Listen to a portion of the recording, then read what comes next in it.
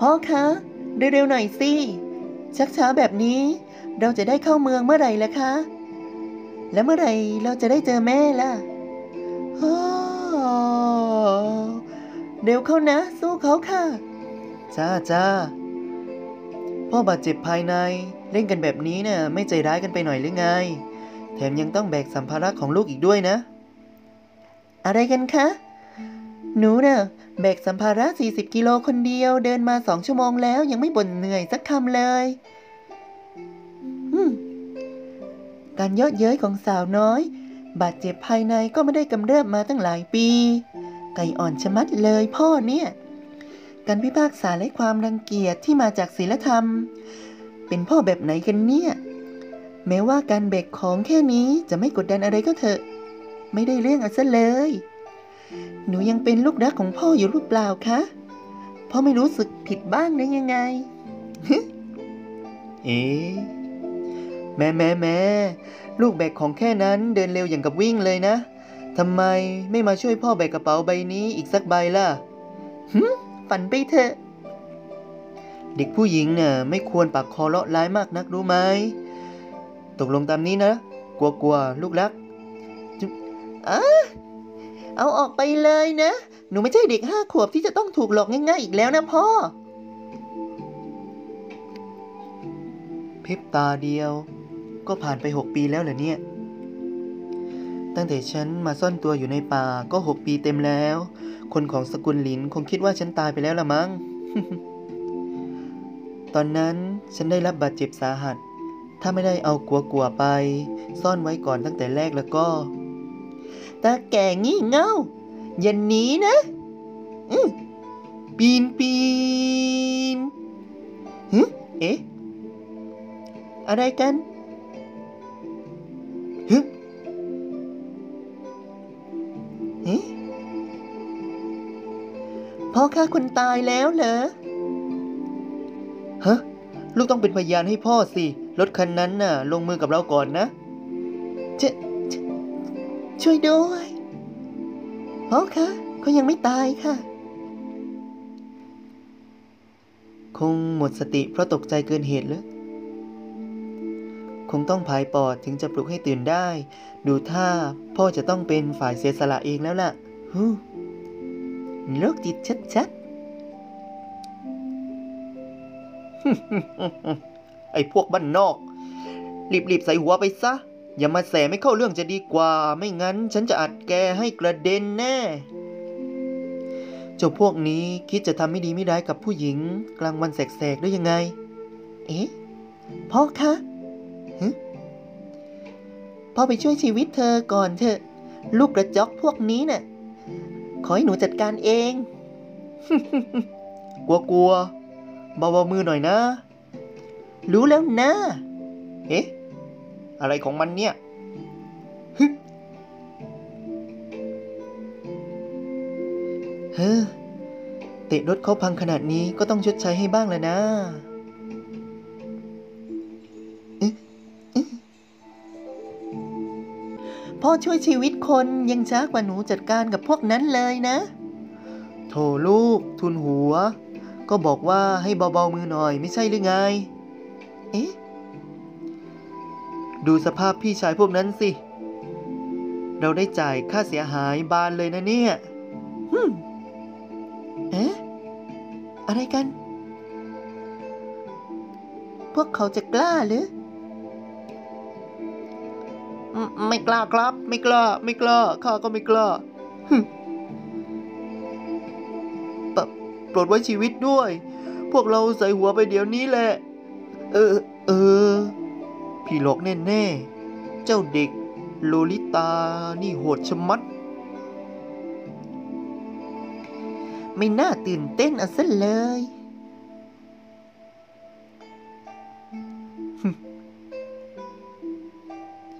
จะกลับไปรายงานท่านประธานมายังไงล่ะทีนี้ ท่าทางจะเจอเรื่องยุ่งยากเขาแล้วสิ ตื่นแล้วเหรอคะพี่สาว เออ ไม่ต้องกลัวนะคะ หนูจัดการคนชั่วพวกนั้นเรียบร้อยแล้วล่ะ ขอบใจที่ช่วยนะจ๊ะหึใจฉันจะทำยังไงดี เออ พี่สาว หนูอยู่ทางนี้ค่ะ อ๋อ ฉันรู้หรอกนะ พ่อคงไม่ได้ฝังเข็มจนตาคนอื่นเขาตาบอดหรอกนะคะ ฉันจะตอบแทนพวกเธอยังไงดีล่ะ ให้เงินก็ได้ค่ะ เอ๊ะ เฮ้ กลัวกลัวๆเออ รบกวนช่วยไปส่งพวกเราที่เมืองชิงไห่ก็พอครับ ตาพี่สาวมองไม่ชัด แล้วจะขับรถยังไงเหรอคะ เออฉันมีแว่นตาไง แต่เมื่อกี้น่ะ เผลอชนพังไปแล้วล่ะ พี่สาวสายตาสั้นเท่าไหร่เหรอกลัวกลัวๆห้ามเสียมารยาทนะ เอ๊ะ ไม่เป็นไรหรอกจ้ะ ทำไมรถซีดานของฉันถึงให้รู้สึกเหมือนขับรถขยะอยู่คุณภาพแย่ขนาดนั้นเลยหรือ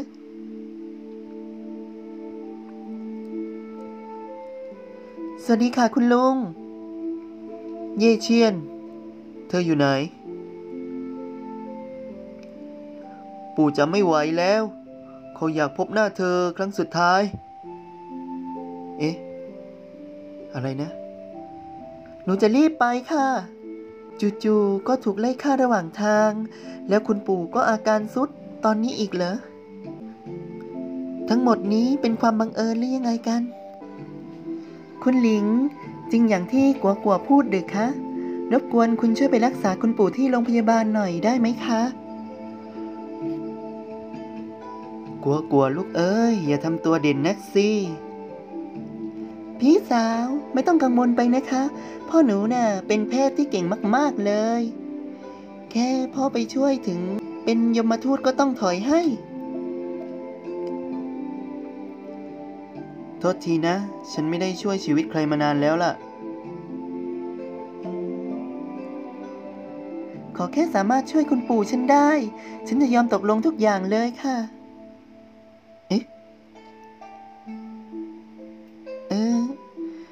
มองกันแบบนี้ก็ปฏิเสธกันไม่ลงนะสิ ฉันทำให้ไม่ได้ แต่กลัวกัวๆทำได้นะ เอ๊ะกลัวกัวๆเหรอ โรงพยาบาลเมืองชิงไห่ที่สอง แต่พ่องี่เง่า ขี้เกียจแล้วผลักภาระให้หนูตลอดเลย ก็ลูกหาเรื่องเองนี่นา ก็ต้องจัดการเองสิ ลืมแล้วเหรอว่าเราน่ะ ออกจากป่ากันมาทำไม เย่เชียน เธอหายไปไหนมาทำไมเพิ่งมาเอาป่านนี้ ชีวิตของคุณปู่ไม่มีค่าสำหรับเธอขนาดนั้นเลยเหรอฮะเอ๊ะคุณลุง นี่นี่โวกเวกโวยวายหน้าห้องผู้ป่วยกะจะทำให้ผู้ป่วยช็อกตายหรือยังไงกัน ใช้เสียงเพื่อข่มขู่ให้แพ้เลย แกเป็นใคร พ่อคุณผู้เฒ่าถูกวางยา เด็กที่ไหนเนี่ย ไม่มีการละเทศะเอาซะเลย ก็เห็นเห็นอยู่ว่าเป็นอาการของคนถูกพิษ แทนที่จะรีบถอนพิษ กลับเอาแต่ดูหน้าจอคลื่นไฟฟ้าหัวใจกับใช้เครื่องช็อตหัวใจ ไม่ได้จะตายเพราะป่วยก็คง ถูกพวกคุณช็อตจนตายแล้วแหละ นี่ ก็มาพูดยั่วๆเอาตัวมันออกไปเดี๋ยวนี้นะ เออคุณลุงคะ พวกเขาเนะ่ะสีหน้าตื่นตกใจแบบมีพิรุษกลัวกลัวๆรีบลงมือเถอะลูก คุณผู้เท่าถังจะไม่ไหวแล้วนะ พวกเราก็มีเวลาจำกัดด้วย น้อยออกไปให้หมด ว้าย พ่อ หนูยืมเข็มหน่อย พิษแค่นี้ใช้ไม้จิ้มฟันบนโต๊ะก็พอบ้าง เนาะเจ้าพ่อขี้งกเฮ้ฮะเอ๊ะชิบสนองแปดจุด นี่ ดูสิ เย่เชียน คนที่เธอพามาทำอะไรไปบ้าง อืม เอ๊ะ นี่มัน ปฏิหารชัดๆสิบนาทีต่อมา สาวน้อยวิธีการฝังเข็มของเธอเมื่อกี้นี่ สอนลุงบ้างได้ไหม ไม่ทราบว่าคุณหลิงทำงานที่ไหนเหรอครับ ผมน่ะ เพิ่งมาจากบ้านนอก ยังไม่ได้หางานทำหรอก ผมเป็นหุ้นส่วนของโรงพยาบาล ถ้าไม่รังเกียจแล้วก็โรงพยาบาลของผมยังขาดหัวหน้าแพทย์แผนจีน ลูกยังเก่งขนาดนี้ ฝีมือของพ่อต้องยิ่งกว่าแน่ๆต้องขอโทษด้วยครับ ผมใช้ชีวิตอิสระจนชิน คุณหาคนอื่นเถอะ ไปกันเถอะกลัวกลัวๆอ๋อแล้วก็ คุณผู้เฒ่าอย่าลืมระวังคนรอบกายไว้ด้วยนะ พิษของคุณเป็นการสะสมในร่างกายระยะยาวหึน้อยแก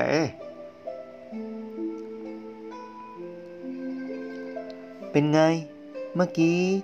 ถ้าพ่อหันหลังเท่มากเลยใช่ไหมค่ะ เท่มากเลย แต่ว่าตอนนี้เราไม่มีเงินติดตัวเลยสักแดงเดียว แล้วคืนนี้เราจะกินอะไรกันล่ะคะ อะ จริงด้วย สัมภาระของเราก็ยังอยู่ที่รถของคุณหนูถัง เราจะกลับไปไถสักหน่อยไหมคะ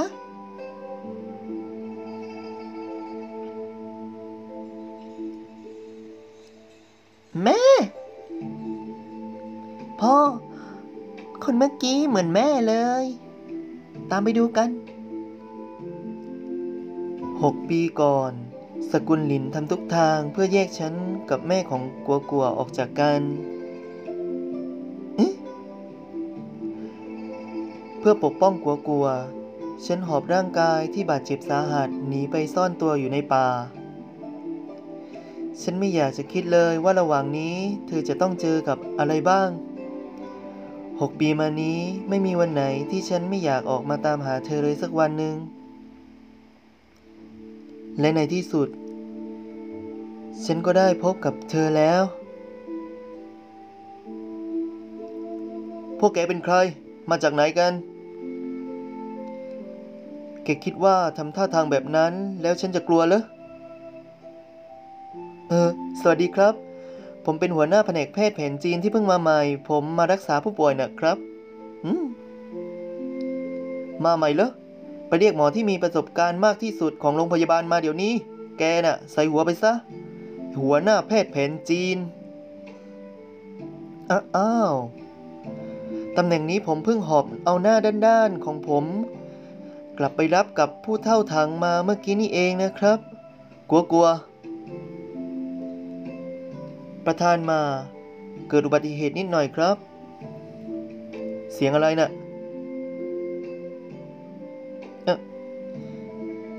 ไม่ว่าใครหน้าไหน ก็ห้ามขัดขวางฉันตามหาแม่ เออเชิญครับ จะได้พบหน้ากันแล้วเว้ยเวยแม่คะ ในที่สุดพวกเราก็หาแม่เจอแล้วกลัวกลัวๆคิดถึงแม่มากเลย เอ๊ะ ไม่ใช่เธอ แม่เหรอ แม่จำกัวกัวๆไม่ได้เหรอคะ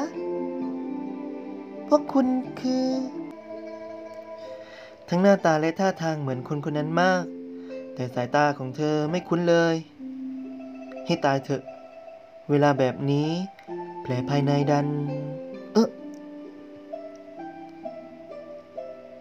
สาวน้อย เธอน่ารักจังเลยนะ แม่เป็นอะไรไปคะ พ่อคะ แม่หมดสติค่ะไข้เย็นกำเริบทำให้หมดสติ เธอต้องกินอาหารธาตุเย็นเข้าไปแน่ ๆ แต่โชคดีนะ ที่พามาส่งทันเวลา แต่เธอเกี่ยวข้องยังไงกับแม่ของกัวกัวๆกันแน่ ต้องไปสืบดูหน่อยแล้ว คุณหลิงเกิดเรื่องใหญ่แล้วค่ะ มีหมอของโรงพยาบาลถูกลอบทำร้าย แถมยังถูกพวกผิดกฎหมายแย่งเสื้อผ้าไปด้วย ฉันเป็นห่วงว่าพวกคุณจะ เสื้อตัวนี้คุ้นตาจัง เออ เปล่านะ พวกผิดกฎหมายหรือเปล่าเนี่ย เหมือนจะวิ่งหนีมาทางนี้แล้วครับ ช่วยด้วยจู่ๆก็มีโรคจิตโผล่มากลางวันแสกๆ เขาถอดเสื้อผมไปหมดโดยไม่พูดอะไร พี่รปภต้องช่วยผมนะครับกลัวกลัวๆหนี่เร็ว เอ๊ะ แม่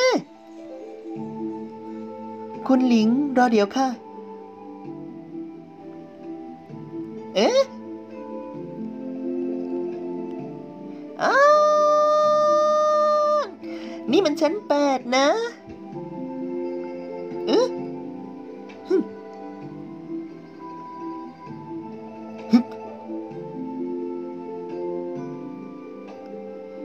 ฉันตายแล้วใช่ไหม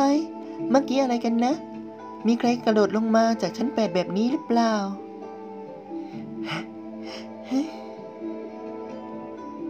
เออ คุณยังโอเคใช่ไหม ที่จริงยังมีอีกเรื่องค่ะ พวกคุณเพิ่งมาจากเมืองชิงไห่คงจะยังไม่มีที่พักใช่ไหมล่ะ คุณปู่เตรียมนี้ไว้ให้แล้วค่ะ ฉันยังต้องดูแลคุณปู่ คงไม่ไปกับพวกคุณแล้วนะคะอพาร์ตเมนต์ในฉิง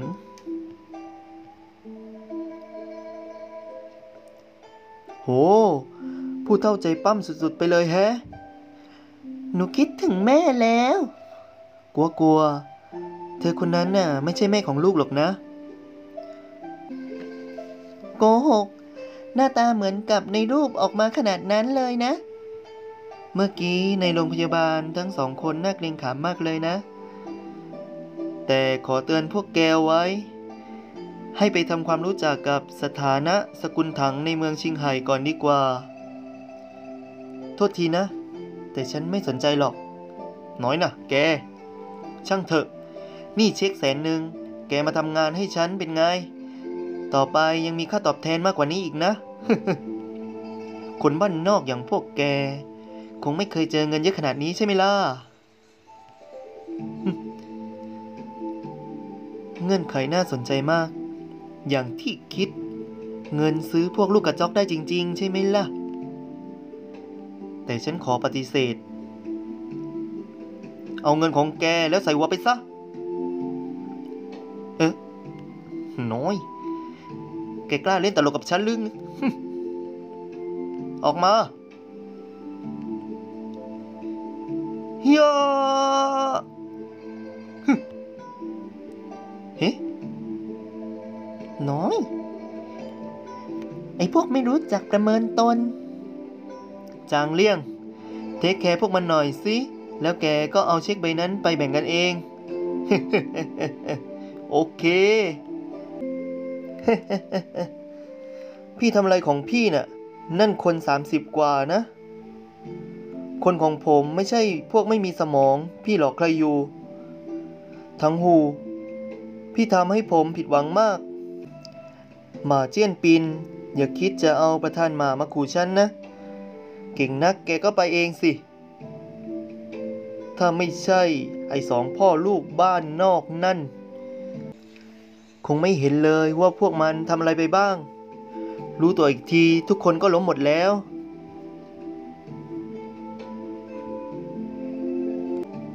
ครั้งนี้ก็งานเข้าพวกเราแล้วอีกฝ่ายเป็นยอดฝีมือสู้เก่งมากฮึไม่ได้เรื่อง แต่ว่าขอแค่พวกเราจัดการถังเย่เชียนได้ หุ้นของสกุลถัง ก็ยังเป็นของสกุลมาของพวกเราอยู่ดี วันต่อมาโรงเรียนสาธิตประถมว้าเช็คหนึ่งแสนเชียวนะ ดันเปียกฝนซะได้ กลัวกลัวๆอยู่โรงเรียนห้ามทะเลาะวิวาทกับเพื่อนเข้าใจไหม ถ้าทำให้เพื่อนพิการขึ้นมา พวกเราไม่มีเงินจ่ายหรอกนะ อืมชิ หนูไม่อยากไปโรงเรียน หนูอยากไปตามหาแม่ นี่เป็นโรงเรียนที่ฉันให้พี่ถังช่วยติดต่อให้เชียวนะ เป็นเด็กดีนะ ไม่สนหรอกหนูจะหาแม่ กลัวกลัว พ่อสัญญาว่าจะช่วยลูกหาแม่ให้เจอ มาเจี้ยนปิน แกปล่อยฉันนะ เย่เชียน ฉันคิดถึงเธอก็เลยมาหาเธอไง ปล่อยฉัน ขอจุ๊บทีนะ ปล่อยมือ นี่มันห้องพักครูโรงเรียน ฉันจะร้องให้คนมาช่วยแล้วนะ เธอมาเป็นครูบ้าบอทำไม เป็นเมียฉันดีกว่า มีทุกอย่างที่ต้องการ ไอ้บ้ากามปล่อยมือนะพ่อฮีโร่ช่วยสาวสวยงานถนัดของพ่อเลย ถึงโชว์ไทม์ของพ่อแล้ว หนูจะรอข้างนอกนะ อืม กลัวกลัวๆลูกพ่อ นอกจากห้ามทะเลาะวิวาทกับเพื่อนแล้ว การทำลายเข้าของของสาธารณะก็ต้องห้ามเหมือนกันนะ แกเป็นใครกล้ามาขวางฉัน น้อย ผู้หญิงเขาไม่เต็มใจ แกจะฝืนใจเธอไปทำไม บอส พวกมันคือสองพ่อลูกเมื่อวานนี้ เหรอ เด็กผู้หญิงไม่ต้องสนก็ได้ ก็หมายความว่า ผู้ชายคนนี้ฝีมือดีสู้เก่งมากเลยสินะ ยังไม่รีบปล่อยคุณถังอีก นี่มันในโรงเรียนนะ แต่ว่าแค่คนเดียวล้มลูกน้องฉันตั้ง 30 คนหรือ เป็นไปได้ยังไง ไปตายซะบอส โอ้เกิดอะไรขึ้น ได้การละ เก่งนักใช่ไหมเอะตอนนี้ชีวิตลูกสาวแกอยู่ในมือฉัน ฉันจะฆ่ายายเด็กนี่บบอสอันตราย เจ้าเด็กนั่นแหละที่น่ากลัวที่สุด ทำใจดูไม่ได้ฮึอคอยดูเถอะ คุณครูถังกัวกัวมารายงานตัวแล้วค่ะ เด็กดี พวกเธอช่วยฉันไว้อีกแล้วนะ หลิงเฟิง คุณกลับบ้านเถอะ ฉันจะพากัวกัวไปห้องเรียนแล้ว งั้นก็โอเคนะ ฉันก็จะไปโรงพยาบาลตรวจสอบคนคนนั้นพอดี โรงพยาบาลเมืองชิงไห่ที่สอง คุณผู้หญิงคนนั้นล่ะครับ เออ กลับไปตั้งแต่เมื่อคืนแล้วล่ะค่ะ กลับไปแล้วเหรอ